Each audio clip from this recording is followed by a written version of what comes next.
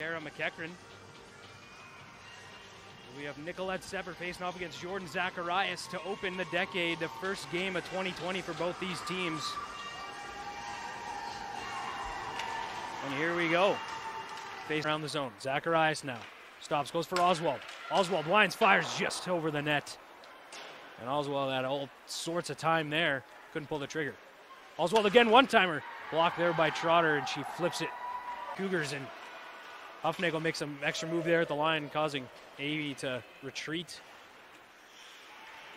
No Trotter in on the forecheck. Turning the puck over. Nate gains it back and right back to Sean Front scores!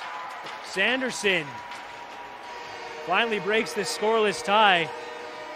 Off some running out, and she smartly just plays the puck in off the boards and all the way down the ice slowly.